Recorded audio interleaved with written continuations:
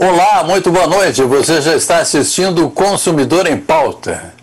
E esse programa eu, eu, fico tão feliz quando eu apresento porque é um programa de utilidade pública. E só aqui na TVE mesmo para a gente ter um programa com esse espaço todo falando em utilidade pública. É, a TV é pública, né? Então é uma TV pública que dá para a gente usar, pelo menos para fazer um trabalho tão bom como esse quem diz são os telespectadores, como esse que nós estamos fazendo, estamos fazendo aqui. É, esse programa pode é feito exclusivamente por perguntas de vocês. Nós tratamos aqui sobre os direitos que cada um de nós tem. Então vocês podem mandar as perguntas para os seguintes endereços. Vocês podem mandar pelo nosso e-mail, que a pergunta vai chegar aqui tranquilamente. Vocês podem mandar pelo nosso WhatsApp, que a pergunta também chega aqui. Podem perguntar é, é, pelo telefone. Vocês pegam o telefone, colocam assim em, na horizontal e vocês vão perguntando. Vocês se identificam, dizem qual é o assunto, de onde você está falando e pergunta daí o que quiser sobre qualquer um dos assuntos que nós tratamos aqui no programa. Lembrando também que esse programa pode ser assistido ao vivo na página da TVE, TVE ao vivo. Então vocês podem assistir aonde vocês estiverem, com o programa estará no ar ali. Vocês podem assistir também no YouTube, daqui a dois dias, três dias, mais ou menos, vocês já estão assistindo. E se você tiver qualquer dúvida a respeito do que foi dito aqui, da resposta que vocês receberam, mande uma outra pergunta para nós ou então assista amanhã às 8h15 da manhã, quando nós estaremos reapresentando o consumidor em pauta. Tá bom? Então vamos lá. Hoje nós vamos tratar de direito do trabalho. E eu tenho um prazer daqueles grandes, ele sabe exatamente é, o quanto feliz eu fico, porque está aqui conosco hoje o juiz do trabalho, Clocemar Lemes da Silva. Boa noite, doutor Clocemar. Tudo bem? Boa noite, Machado. Como é que está? Boa noite aos telespectadores. Satisfação estar contigo de novo. Grande prazer. E espero que possamos logo acabar com essas coisas telepresenciais e estar juntos de novo. Essa pandemia nos ensinou que é, o calor humano, a presença e a vida em conjunto é importantíssima e nos faz muita falta. Isso é uma coisa que nós estávamos comentando logo no começo. A gente já não consegue. Quanto tempo que a gente não consegue se dar um abraço? Esse negócio de cutucar no, no cotovelo, no, dar um soco, também não adianta. A gente quer não, mas... trocar uma bem grande. Verdade, é, verdade. Com certeza. Então, doutor Glossamar, eu tenho aqui, eu estou fazendo já, descobri que aí uma série de, de, elogios ao programa, então eu faço cada dia um, leio o, o a homenagem que cada um faz ao programa. Esse aqui, por exemplo, não tem um nome, mas é de um anônimo. Gosto muito do programa, com bom humor, mas com a informação bem séria e de fácil entendimento. É exatamente isso que nós pretendemos aqui no programa. Fazer um programa alegre, gostoso, divertido e sério ao mesmo tempo. Doutor Clocemar, vamos lá para a primeira pergunta é do Leandro, que mora no bairro Mário Quintana, aqui em Porto Alegre. Ele quer saber como é classificada a função de porteiro. Se o porteiro fizer ronda, é vigilante ou é somente porteiro? E ele quer saber se ele tem direito também aos 30% de periculosidade. E daí, doutor Classamar? Puxa vida, Machado, essa questão é, que envolve a diferenciação, a distinção entre o porteiro e o vigilante, entre o vigia e o vigilante, enfim, é, eu já, em determinada oportunidade, inclusive, eu vi é, uma figura que denominava um controlador de fluxo, que nada mais era do que um porteiro. É matéria que se repete muito nos tribunais trabalhistas e ela é um pouco complexa de fato. O que acontece é que a Lei 7.102, de 1983, ela trata e especifica, eh, ela regulamenta, institui, vamos dizer assim, a atividade de vigilante. e define que para exercer essa profissão é, há, um, há, necessidade de uma série de requisitos, tem que ter mais de 21 anos, tem que é, pelo menos a quarta série, tem que ter sido aprovado em um curso de formação de vigilante. Agora, para que nós é, possamos entender bem essa diferença, é, nós precisamos responder na prática qual era o conteúdo ocupacional dessa função. Porque quando eu digo conteúdo ocupacional, quero dizer o que, que ele tinha que fazer de fato, né? quais eram as funções que esse camarada tinha. Porque a diferença toda é que a atividade de vigilante ela é, é o que se costuma dizer de parapolicial. O vigilante ele tem o dever de reagir à ação criminosa.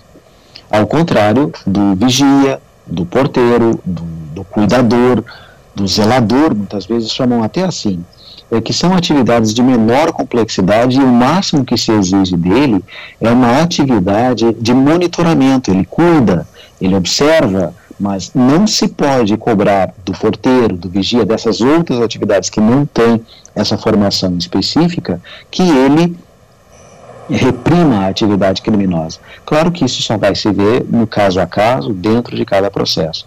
Respondendo especificamente à pergunta do Leandro, não, Leandro. O simples fato de se fazer uma ronda no local de trabalho, por si só, não significa que tu seja, é, que sejas vigilante. Agora, quanto à periculosidade, é, o artigo 193 me foge agora a linha e o inciso, né? mas o dispositivo que trata é, da periculosidade, ele, ele estabelece que é, será devido o adicional de periculosidade para aquelas atividades que expõem o trabalhador a risco pessoal decorrente da atividade é, é, é, criminosa, risco de assalto, risco de ação violenta de criminalidade. Muito bem. É, o que acontece é que o próprio artigo 196 da CLT define que os efeitos pecuniários dos enquadramentos em periculosidade e insalubridade somente serão devidos após regulamentação eh, específica pelo antigo Ministério do Trabalho, hoje Secretaria do Emprego e do Trabalho, que está dentro do Ministério da Economia. E o que se tem de regulamentação sobre isso estabelece que somente será devido o adicional de periculosidade para os vigilantes. O que se pode eventualmente é discutir. Pode haver um entendimento de algum colega que resolva entender e, até definir que, olha, é, na ronda dele ele está sujeito a perigo de ser assaltado, de ser eventualmente até morto e, portanto, é, é submetido a uma condição de exposição à criminalidade, ele tem direito adicional de periculosidade. Já adianto que, para a infelicidade do Leandro, não é esse o entendimento que tem prevalecido. Entendimento bastante é, é, prevalente, dominante nos tribunais, e que eu compartilho, é de que esse é, adicional de periculosidade somente é devido para os vigilantes. Uma última coisa que eu acho importante nós referirmos aqui, Machado, ao hábito das pessoas entenderem que, ah, mas eu não portava arma. Ah, mas eu portava arma. Veja bem, o porte de arma, especialmente a arma de fogo, ele é uma uh, ele é um, um, grande indício, até mais que um indício, ele é um elemento de início de prova de que esse trabalhador efetivamente era vigilante. Agora, isso por si só não significa que ele seja vigilante. O que vai ter que se examinar no processo, o que nós vamos ter que procurar, pesquisar, tentar encontrar, é, bom, esse camarada exigiam que ele revidasse a atividade criminosa, exigiam que ele repelisse a atividade criminosa, ou ao contrário, ele tinha orientação, olha, verificar alguma coisa, te esconde e chama para a polícia, chama a polícia. Esse é o diferencial. O fato de portar arma, ou ao contrário, não portar arma, não significa que seja ou não seja vigilante. Inclusive porque a Polícia Federal tem um uma regulamentação específica, uma instrução normativa da Polícia Federal que diz com todas as letras: vigilância não armada. Bom, isso define a questão. Tá? A próxima pergunta, doutor Cluzamar, é da dona Eliane, que mora aqui em Porto Alegre. E ela diz o seguinte: Estou afastado do trabalho por Covid em janeiro e complicações pela presença do vírus. Passei pela perícia do INSS, dia 25 de março, e até hoje não obtive resposta do Instituto. É, pediram para enviar documentos e enviei, mas até agora nenhuma resposta nem pagamento. Ela quer saber se isso é normal.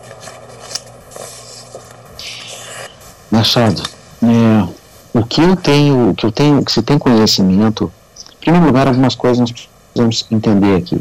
Ao que tudo indica, é, 25 de março, portanto, é, é relativamente recente, é, precisaria saber se a perícia dela foi presencial ou não. O que tudo indica não foi, não só pelo período de pandemia, mas também pelo fato de que pediram documentos, isso deve ter sido telepresencialmente.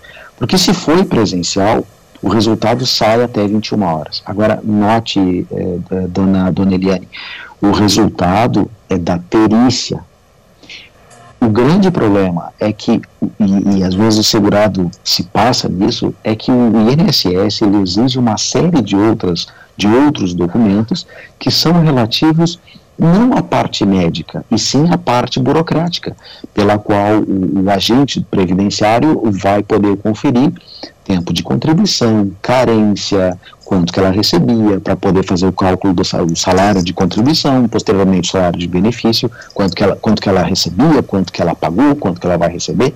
É, é, são esses documentos complementares que se exigem. Agora, nunca esteve tão acentuado, aumentou demais o número de, de pedidos de benefício previdenciário de auxílio-doença.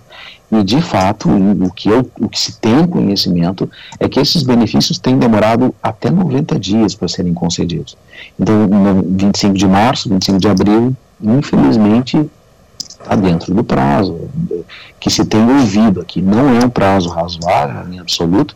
Vocês imaginam que o trabalhador ele fica sem, porque até o 15º dia ele recebe do empregador, está tranquilo? A partir do 16º dia, ele já deveria entrar em benefício e receber da Previdência. E isso não está acontecendo, está tá demorando. Então, eh, realmente não é uma situação confortável, para dizer o mínimo, é uma situação bastante ruim ter que ficar nessa, nessa condição de aguardar para ver quando e se vai ser deferido. Não há muito o que fazer aqui, a não ser eventualmente ligar para o 135 e tentar obter maiores informações, é, até eventualmente fazer uma cobrança na página do INSS, eles com certeza devem ter lá um, uma sessão de, de, de ouvidoria, de, de, reclamações, mas realmente não há muito o que fazer, aumentou demais o número de requerimentos e a pandemia, ela impacta não só na concessão dos benefícios para os trabalhadores, os próprios trabalhadores do INSS, do setor público, eles são atingidos por isso é, esse, esse, acréscimo de demanda, é, essa dificuldade maior na organização dos trabalhos, tudo isso complica bastante. E falo, olha, é, é de cadeira, é, não só literalmente, né, para estar sentado na cadeira, mas no sentido de que eu venho observando um acréscimo de demanda dentro de cada processo. A audiência que resolvia muita coisa não existe mais, então tudo fica em expedientes de papel, um vai e vem. Aliás, não é nem papel, tudo é eletrônico, né? Mas é um vai e vem de informações, diga isso, diga aquilo, coisas que presencialmente se resolvem com muito mais agilidade. É aquilo que nós comentamos antes, nada substitui o contato pessoal presencial, as coisas realmente tramitam de uma forma melhor. Não há muito o, o que dizer para a dona Eliane, é, a não ser a título de consolo, que sendo concedido o benefício, ele retroage a data do requerimento. Doutor Clocemar, nós vamos fazer um pequeno intervalo. O nosso intervalo aqui é bem rápido. A gente é só o tempo de tomar um gole d'água. A gente vai e volta.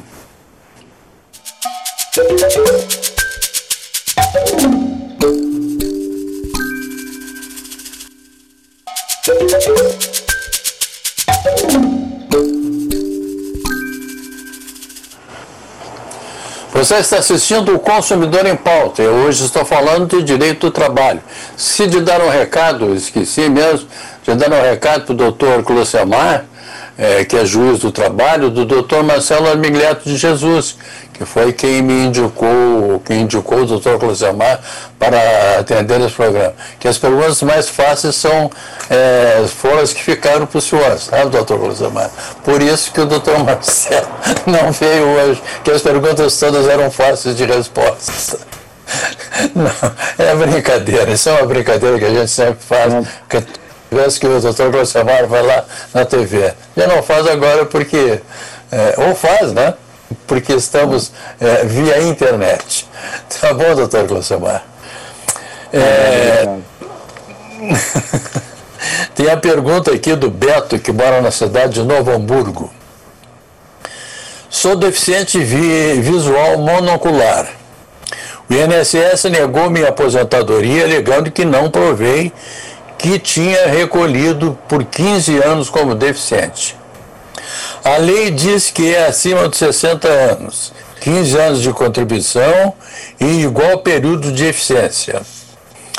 Lei é, igual período de deficiência. Lei 142/2013, artigo 3 inciso 4 Recolhi por 5 anos, por 25 anos e não consegui provar minha deficiência dos últimos 15 anos. Tenho 63 anos e não recolhi nos últimos 15 anos. Podem me dar uma orientação? E daí, doutor Closemar? Nossa Senhora! Duas coisas. Em primeiro lugar, eu quero aproveitar o, o teu tua lembrança do, do Marcelo aí, dizer para ele que ele me deve um vinho, um vinho? essa saia justa, um vinho, por essa saia justa que ele acabou de me colocar, porque essa pergunta está é, é, tá mais para o providenciário que direito do trabalho. Mas vamos lá, eu vou tentar responder. É, é, é, olha só, em primeiro lugar, o Beto, segundo lugar, na verdade, o Beto parece conhecer mais da matéria do que eu, Machado, porque ele está ali com, com, toda a legislação na ponta da língua, ele sabe tudo aqui. É, de fato, para, para o benefício de aposentadoria, isso é a primeira condição que nós precisamos entender aqui, não se exige a qualidade de segurado, ele pode até ter perdido a qualidade de segurado, o que se exige é a carência e a idade. É, especificamente para o benefício de aposentadoria por idade ao empregado deficiente, é necessário comprovar 60 anos e 15 anos de contribuição na condição de deficiente. Né? Porque senão é, é, eu contribuo, eu tenho 59 anos, contribuí é, a vida toda como, como contribuinte, vamos, vamos utilizar a expressão normal, e lá no último ano eu sofro um acidente, perco um braço e contribuo um ano só como deficiente, isso não me assegura, tem que ser 15 anos de contribuição na condição de deficiente. Eu, pelo que eu entendi da pergunta, ele preencheu os requisitos, Machado. Eu não, enfim, eu não tenho muita orientação para dar para ele. Não, não, os requisitos são esses. A única a, a, angústia dele me parece ser pela, pelo fato de que ele não recolheu nos últimos 15 anos. Bom, o que eu conheço da legislação previdenciária não é muito, mas a gente volta e meia nós temos eh, lidamos com esse tipo de problema dentro dos processos, especialmente quando envolve extinção de contrato, pagamento de aposentadorias, eh, aliás, desculpa, pagamento de benefícios previdenciários que influenciam na relação de trabalho. Eh, não precisa estar com a condição de segurado. O que se exige é que ele tenha contribuído pelo período de carência. Se, que, se eu não me engano, e aí, por favor, com muitas reservas, porque eu realmente não me lembro, isso pode ter se alterado, mas me parece que o período de carência é mínimo de 15 anos. Não vou confirmar. Pelo que ele está dizendo aqui, na pergunta dele, ele preencheu os requisitos, Machado. Então, eu, o que eu tenho, a orientação é se acalme, procure um advogado e vá atrás do seu benefício, que eu acho que você tem direito, pelo que, pelas tintas que eu, que eu vejo e pelo que eu me lembro. Então a orientação é te acalma, tia. Ô Beto, então, viu, Beto? Aí o doutor Glucemar estava está é, dizendo para você exatamente aquilo que você diz aqui na pergunta. Tá? Então pense bem, procure um advogado e vá tratar desse seu problema, que vai dar tudo certo. Tenho certeza que vai sair tudo bem. E o doutor Marcelo está devendo dois vinhos. Ou eu tomo a metade do doutor Consemar aí. E, bom, é. Tomamos esse vinho juntos. Tá bom, então. Ah, o Dionísio de Guaíba diz o seguinte: tem uma causa trabalhista, mas meu advogado sumiu. Faz um ano que ele mudou de endereço, não diz por onde foi, não atende o telefone e não sei como está a situação do processo. Ele quer saber, o Dionísio lá de Guaíba, o que, que ele pode fazer, doutor Crucemar? Várias coisas. Né? Eu, eu diria que a primeira e a melhor delas é entrar em contato com a Vara do Trabalho de Guaíba. Se for lá na página do Tribunal Regional do Trabalho, acessa lá, trt.jus.br. Lá tem uma aba, tem, tem um, um, um item lá que dá para clicar que diz institucional procura Varas do Trabalho, procura em Guaíba, lá vai acessar. A vara de Guaíba, é, pega o telefone, liga para a vara e procura saber o número do teu processo. Isso é fundamental. Sabendo o número do teu processo, tu consegue na própria internet, na tua casa, no teu celular, em qualquer lugar que tu tiver, fazer uma consulta pelo, é, pelo número do processo. A partir daí, se não tiver como entrar em contato com o advogado já constituído, que é o que ele parece estar dizendo aqui, é, procure outro, outro advogado. Agora, antes disso, ainda vá atrás no, no site da OAB, acho que é, eu não me lembro se é oab.org ou oab.gov, mas é o site, só botar lá no Google, né? bota lá no Google OAB. No site da OAB existe também um, um, um link, um lugar específico de procura por nome do advogado. Lá se consegue nome, se consegue endereço, se consegue OAB, entra em contato direto com ele. Uma, uma terceira opção, ele pode entrar em contato com a ouvidoria do Tribunal Regional do Trabalho solicitando que a vara dê informações e a vara vai prestar essas informações. Né? Também, de novo, vai lá no site do TRT, procura eh, eh, ouvidoria, manda uma, não é reclamação, que, né, manda uma solicitação de informa o seu nome, informa seu CPF e pede uma solicitação do andamento do processo, eles vão lhe responder.